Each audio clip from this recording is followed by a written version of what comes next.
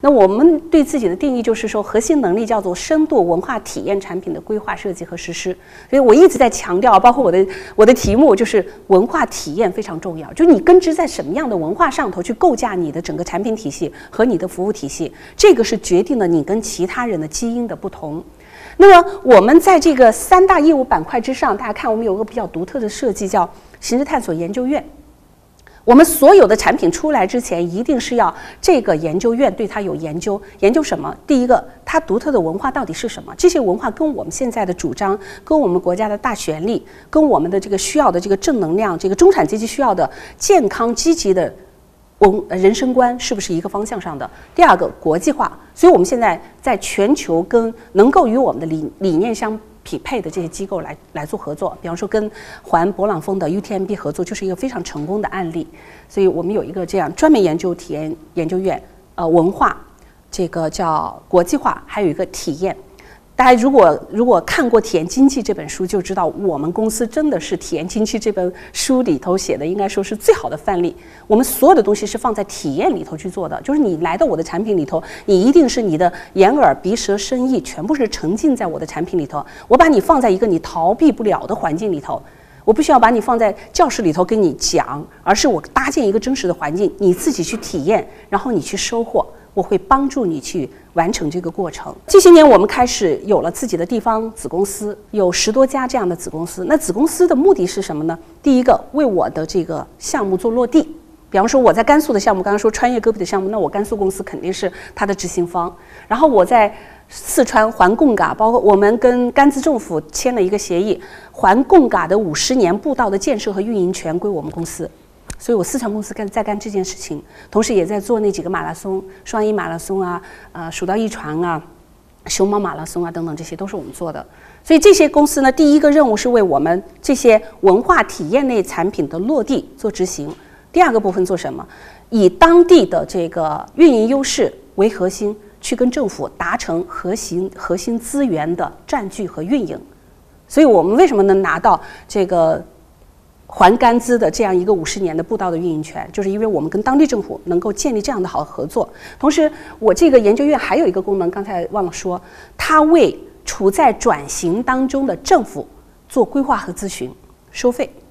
就比方说新疆，你原来是很多人是来来新疆观光旅游，我们那个时候叫观光旅游。那现在这个观光旅游已经满足不了我们人群的需求了，更多的人是希望深度的去体验当地的人土风情和文化。那么，这个体验式旅游应该怎么做？所以我们会帮政府去做这样的规划和咨询。然后在这个规划和咨询的过程当中，我告诉你，你当地的资源和文化应该怎么挖掘、怎么包装，应该建什么样的服务设施来满足这样的人群的要求。然后其中核心的部分，我来给你运营。这就是我跟政府的一个合作模式。同时，我承诺把我的高端人群导入到你那去。我们在呼伦贝尔完成了一个零下三十度的一个马拉松。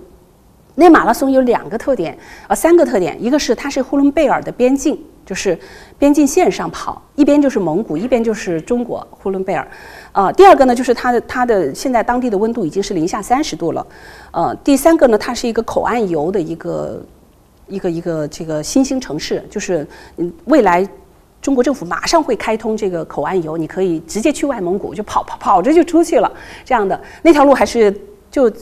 几个月前我去探的路。然后，那那当地政府就非常兴奋，就是你行的探索这些年积累了这么多的客户，对你又粘度很深，他也相信，因为你我们的赛事口碑都很好，所以他说你能不能帮我，我们在这儿一起来做个赛事，然后把这些人群导过来。但今年是做的尝试赛，不多人，几十个人，但体验非常好。这些人一撒出去就是火种，冰雪草原马拉松，特别好玩的是，跑完了就给一只羊，那只羊是中国羊肉里头最好的稀奇的羊肉，一整只羊啊。都不是给你不是给你一个奖杯奖牌就算了的普通的马拉松，他跑跑完之后就给你一只羊，每个人都有，特别好玩。所以我们就会透过这样的事情，你看，我们给当地政府去做这样的赛事策划，我可以给他导人群，而未来他这个线路火了，很可能他核心的赛事就要给我来运营，跟政府就是这样一个合作模式。但是你会发觉，文化是这儿的核心，就是你去呼伦贝尔，你光光讲草原是没有用的，那你怎么去能跟它的草原的文化？紧密的结合，它不但是草原，它还是跟外蒙连接的中国最好的一片草原。所以你一定要把这个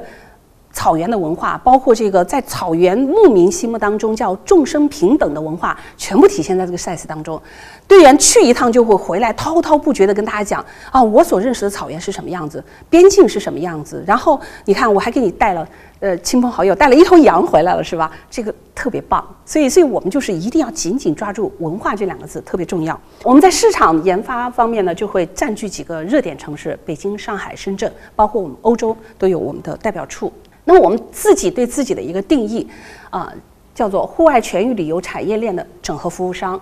第二个，我们为高端的中产阶级搭建一个运动社交的服务平台。我们有一个自己的方法论，叫行思探索方法论，这个是很多很多人也还是比较认可的。我们用文化来提炼品牌。首先，第一个品牌就是我们的玄奘之路，到后面我们的什么超呃高丽宫超级越野啊，八百流沙，这都是我们自己的独有品牌。包括我们做教育培训，后面会有专门的部分讲教育培训。我们的原领导力也是我们自己提出来的，不是别人的理论，是我们这些年的实践摸索出来的。我们用文化来体验品牌。用体育打造形象，就所有的我们公司做的事情，一定会跟某个体育运动、某一项什么户外运动链接起来，来打造形象。另外呢，用旅游去落地发展，因为它最终是要落到一个地方上，落到一个这个地域上。所以呢，这是我们的一整套的这个思路。同时，